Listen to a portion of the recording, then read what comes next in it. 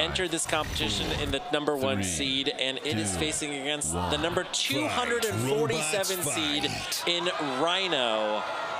Clyde always puts a smile on my face. Look at those flames. Fantastic fire and flames. We've seen multiple robots melted here at the hands of Clyde today, and they have captured Rhino, and they are blasting Rhino with fire. Listen to the sound of Rhino's weapon as it grinds against the frame of Clyde. It was sending pieces flying through the air.